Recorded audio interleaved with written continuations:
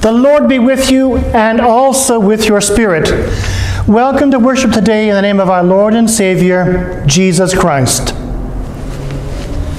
The Lord is in his holy temple. Let all the earth keep silence before him in the name of the Father, and of the Son, and of the Holy Spirit. Amen. If we say we have no sin, we deceive ourselves, and the truth is not in us.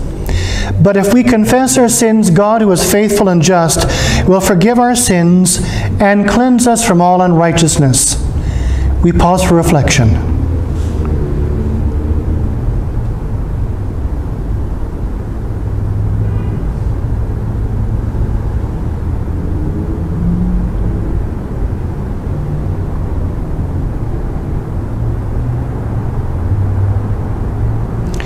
Let us then confess our sins to God our Father.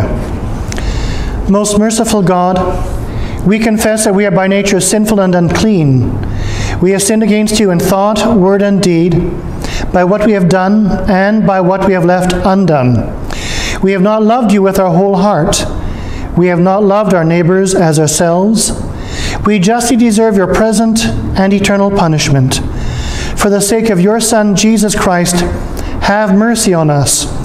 Forgive us, renew us, and lead us, so that we may delight in your will and walk in your ways to the glory of your holy name. Amen.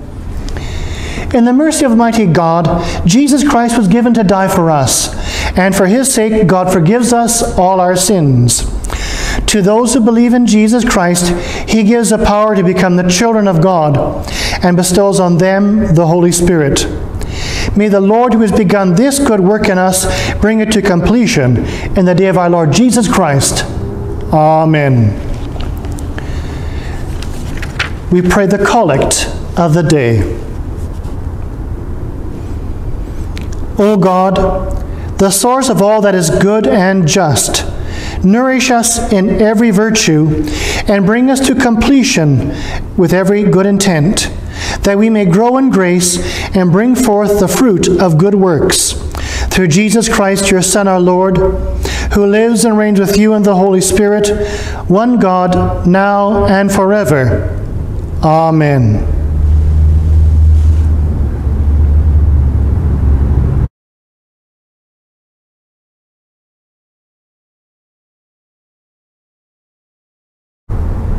Our first reading for the 13th Sunday after Trinity from Ephesians chapter 6, verses 10 through 20.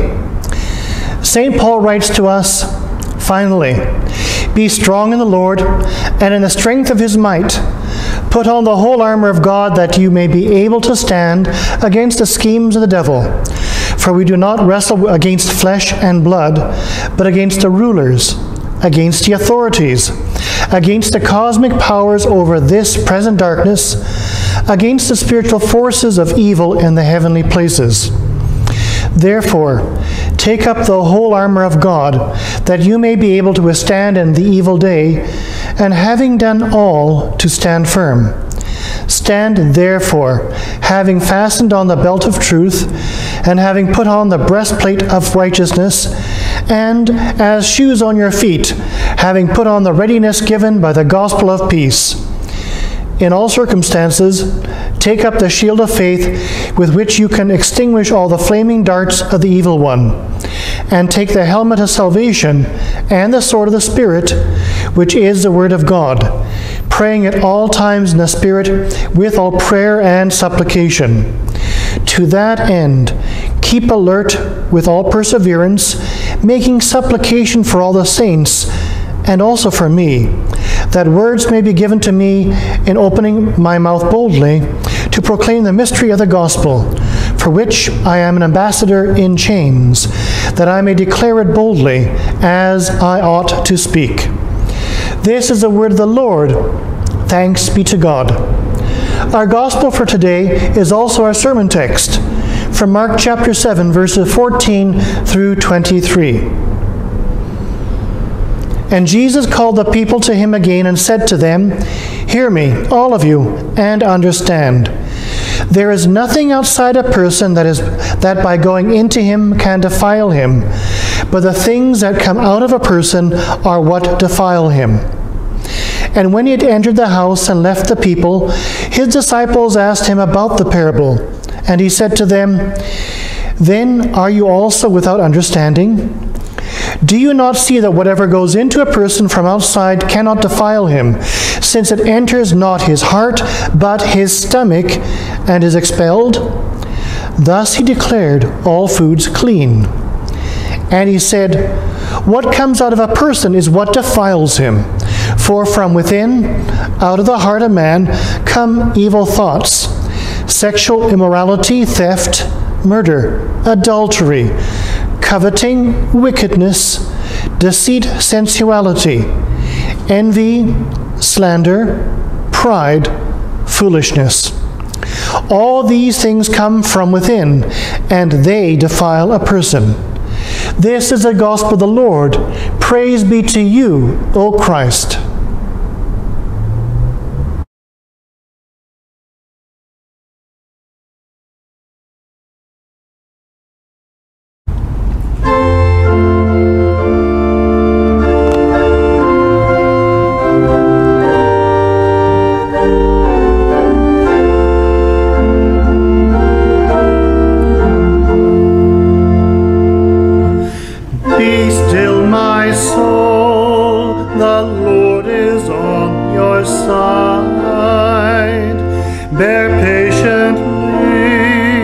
The cross of grief or pain. Leave to your God to order and provide. In every change, He faithful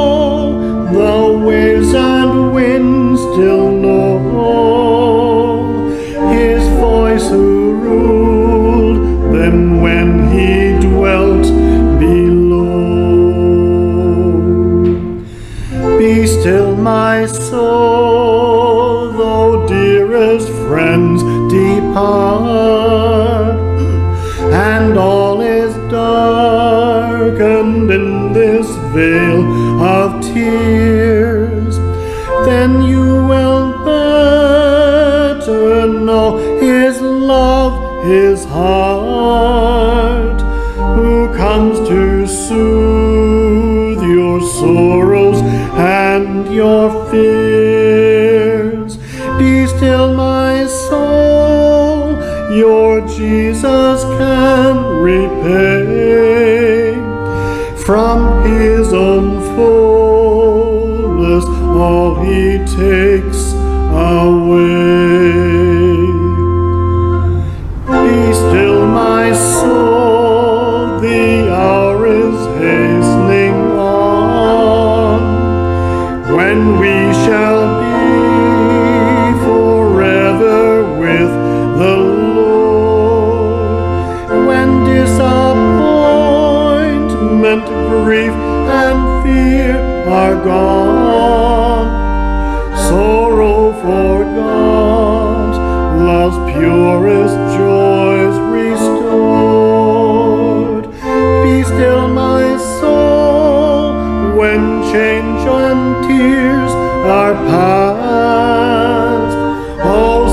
and blessed we shall meet at last.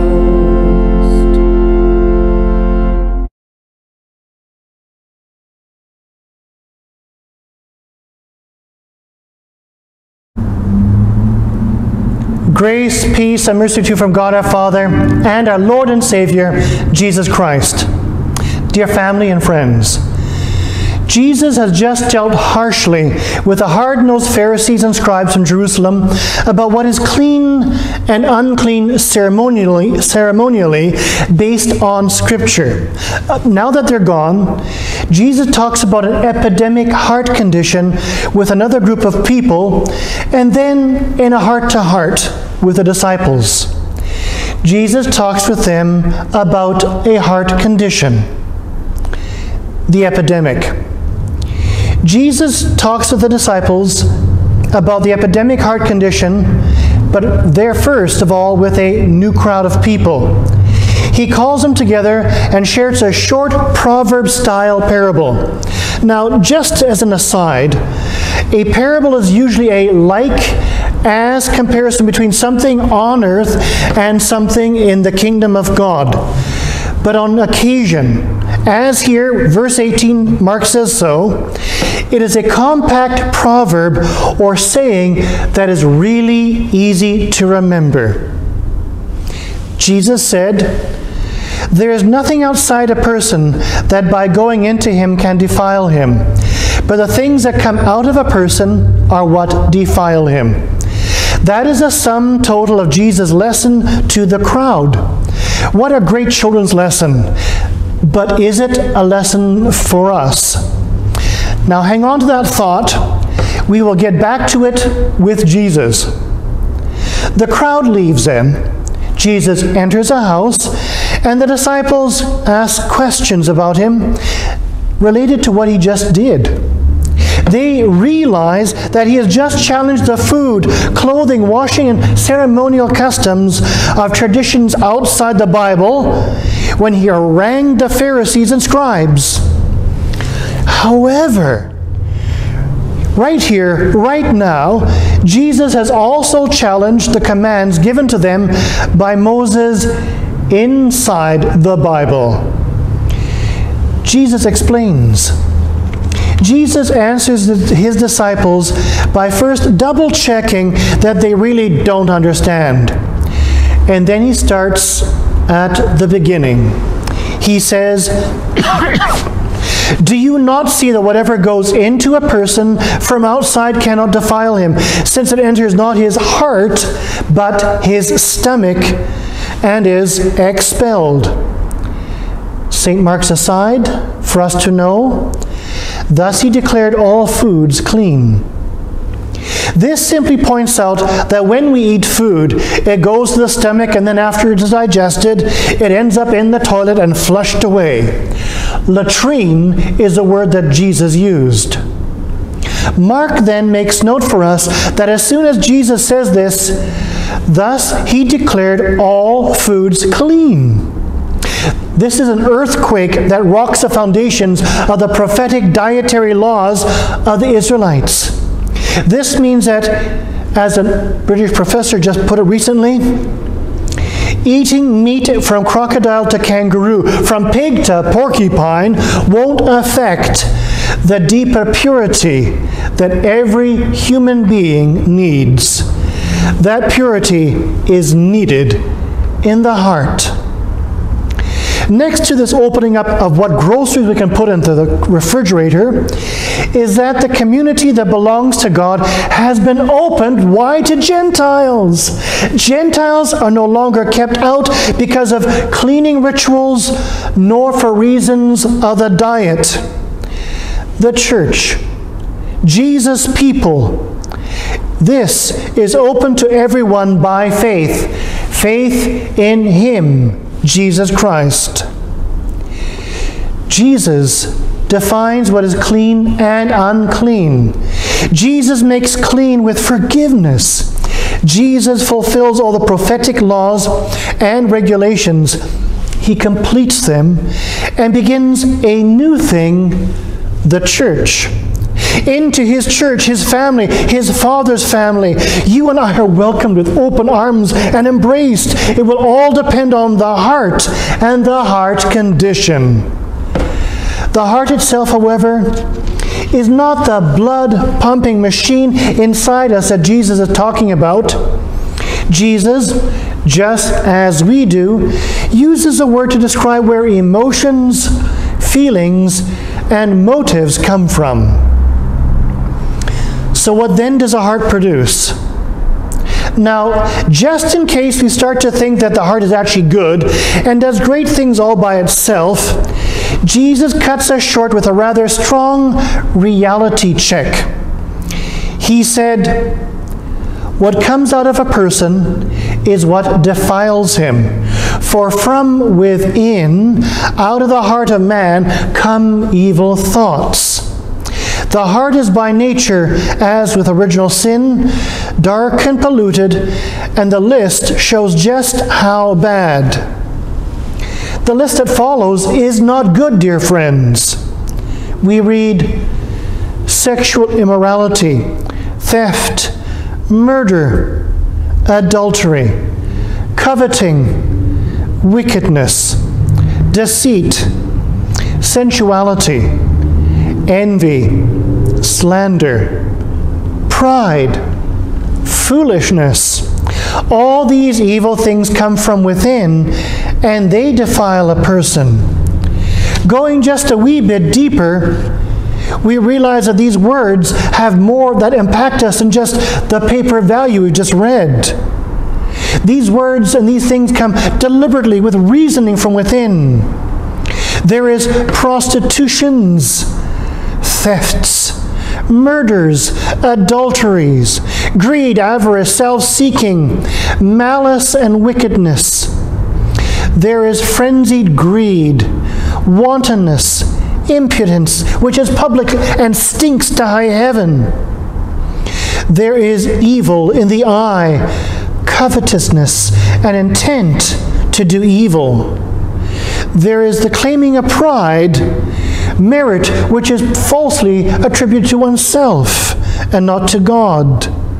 There is blasphemy, claiming that God has done wickedness and evil when it is not the case.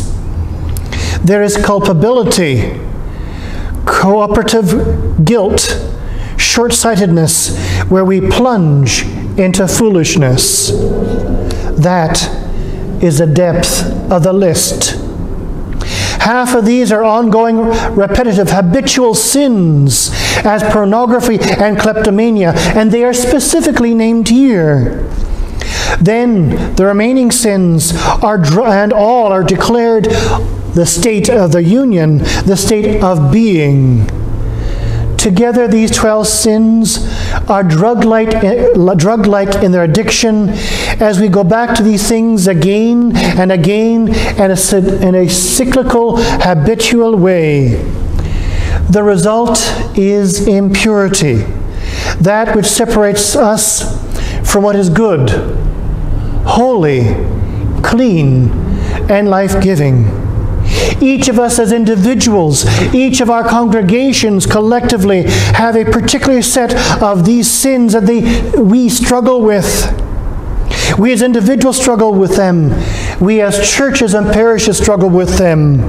And to the worst extreme, haven't we just experienced this and heard so much about it from the Aboriginal residential schools? We have.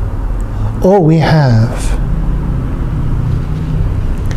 Dr. Bill Munt pointed out something about this list, and he says hello, by the way. Uh, consider adultery. When something is adulterated, it is tainted. And his example take a good glass of pure, clean water and add a heaping tablespoon of dirt and manure. Who's going to drink it? What would happen if we did? Sickness would follow. To purify that dirty glass of water takes a lot of hard work. It won't get clean by itself. Something this radical needs an outside force to do an extreme purification. The same applies to the heart. This heart condition that we have needs radical treatment.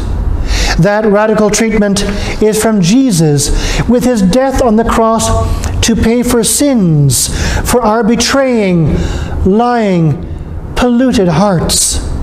Those hearts, housed in bodies, yours, mine, ours, are cleansed in baptism as we are laid into and then raised up out of the death and resurrection of Jesus Christ. Then, with a conscience, heart washed clean, we have the power of the resurrection and the gift of the Holy Spirit. We have in Christ His strength and the Holy Spirit as teacher, the, to, with His call to go back to that horrible list and say, Holy Spirit, what are the opposites?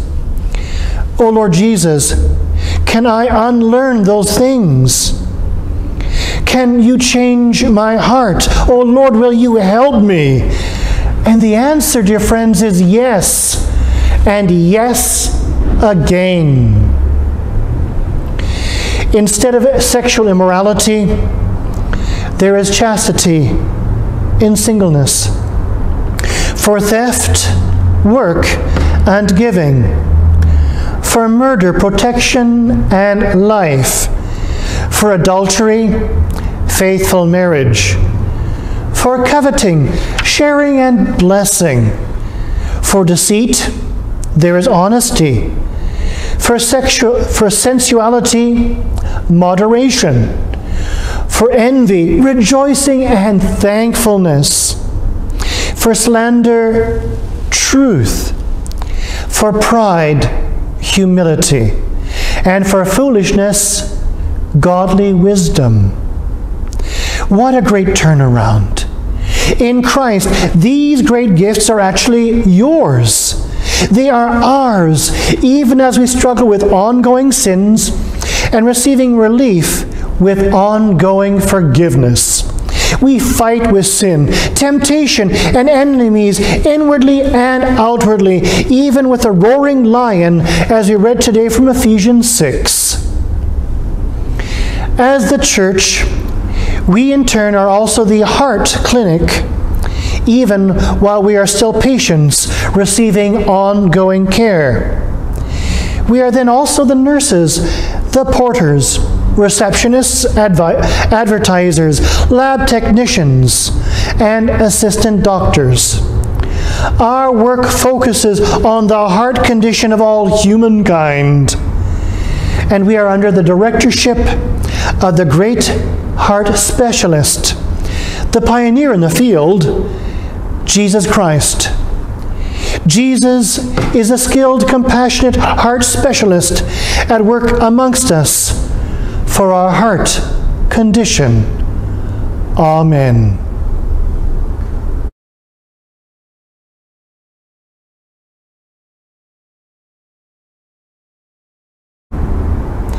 Thank you for joining us for worship today. We also thank St. Peter's Lutheran for the use of their beautiful church and sanctuary for filming our online service. If you would like more information about Bethlehem Lutheran, please contact us through the website at www.vancouverlutheran.org. vancouverlutheran.org. Let us pray. Almighty God, we ask you to be near us with your word and spirit. Guide and lead us that we may not stray from the way of your commandments, nor forget the wonderful blessings that you have given to us. Direct us always with your word of truth. Lord, in your mercy, hear our prayer. Heavenly Father, preserve us from all that would defile us in heart and soul. Keep us from all evil thoughts, immorality, theft, murder, adultery, coveting, wickedness, deceit, sensuality, envy, slander, pride, and foolishness. Purify our hearts with your cleansing word. Remove all impurities from us and enable us to lead godly lives before you. Lord, in your mercy, hear our prayer. Lord of all nations, since it is your will that we would pray for all in authority, we believe with confidence that you hear our prayers on behalf of Elizabeth, our Queen, Mike Horgan, Premier of British Columbia, and all our members of the Legislative Assembly. For our Lord Mayor of Vancouver, and also with thanks for those who have let their names stand in our upcoming federal election. Teach them the testimony of truth, that they may be wise and effective in their offices. Lord, in your mercy. Lord, you are the strength of the weak and the refuge of the powerless. Be with your people who are struggling with doubt and temptation. Grant assurance to the doubtful and deliverance to those tempted by this world. Give your power, grace, and love to all who have need. Lord, in your mercy, hear our prayer. Lord of life, bring both health and healing to your people. We pray for everyone in need of your mercy today. Strengthen them with your word of grace, that they would look to you for comfort in the midst of suffering and pain. We bring before you some of the many troubles in our world of unrest and fear in Afghanistan. Give us the ways and means to be of service to the many who are refugees even now. To care for those who are in harm's way, but also fighting the forest fires that continue to rage in the interior of British Columbia. Lord, in your mercy, hear our prayer. Into your hands, O Lord, we commend all for whom we pray, trusting in your mercy through Jesus Christ our Lord. And therefore, trusting in you, we raise up to you the parishes of our region Killarney Lutheran, Reverend Chang, St. Peter's Lutheran, Reverend Rebane, Dunbar Lutheran, Reverend Keeley, Martin Luther Church, Reverend Schmidt, St. Mark's Lutheran, Reverends Ermish and Lou, St. Matthias and St. Luke, Reverends Lay and Wu. Amen. May the peace of God that passes all understanding keep your hearts and minds in Christ Jesus unto everlasting life. Depart in his peace. Amen. Happy Sunday.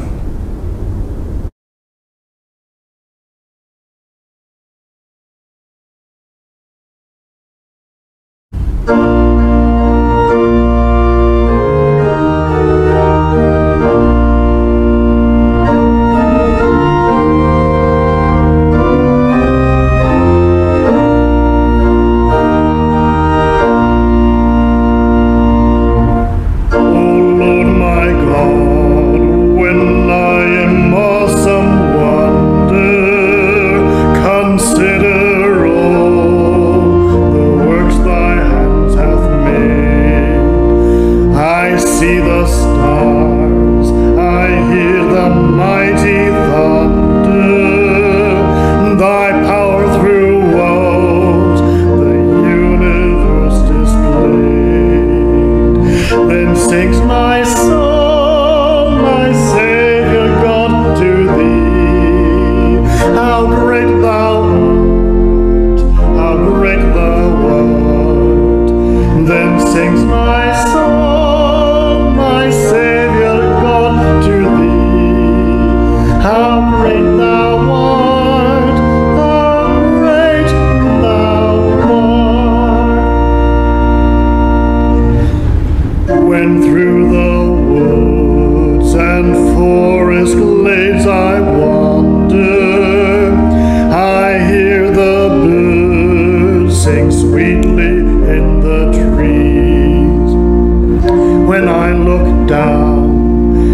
lofty mountain grandeur, and hear the brook, and feel the gentle breeze.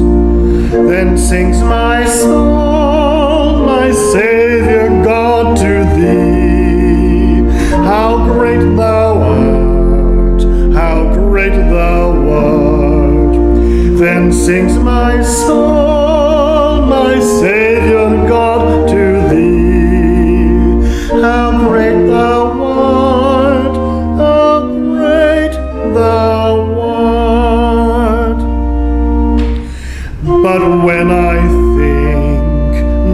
God his Son not sparing sent him to die.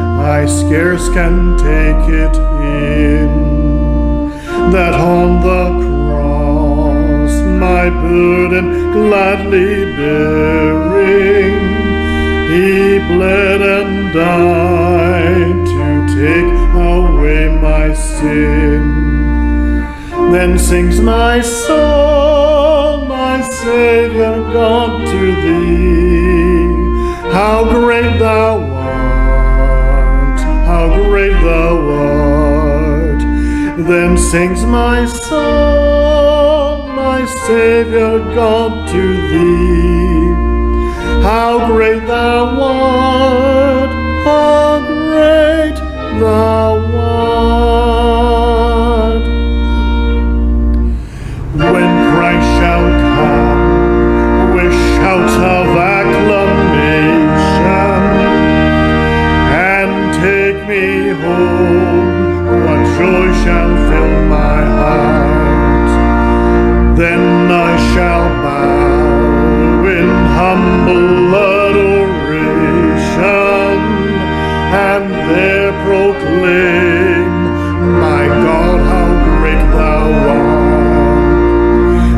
sings my soul, my Savior God, to thee. How great thou art, how great thou art. Then sings my soul, my Savior God, to thee. How great thou art.